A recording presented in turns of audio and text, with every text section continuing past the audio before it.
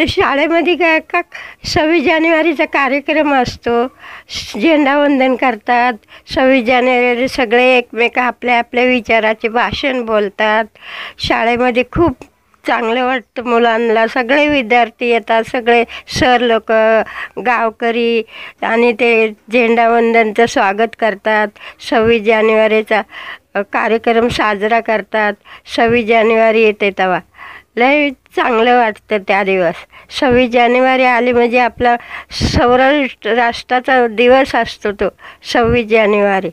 साऱ्या महाराष्ट्राचा दिवस असतो सव्वीस जानेवारी. सगळ्यांना खुशी येते सव्वीस जानेवारीची. अशी सव्वीस जानेवारी असते. मुलं आपल्या आपल्या पद्धतीने भाषण करतात. मोठमोठ्या थोर पुरुषांचं सव्वीस जानेवारीला सगळे पाळी पाळी आपलं आपलं भाषण मांडतात प्रोग्रामात. सगळे बसलेले लोक ऐकतात. असं सव्वीस जानेवारीचं झेंडावंदन करतात. सव्वीस जानेवारी लय गावाला चांगले असायची.